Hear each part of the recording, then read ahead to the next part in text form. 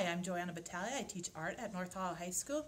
In art, we do a number of different activities from painting to sculpture to collaging to drawing and so forth. I hope you sign up for art at North Tahoe High School.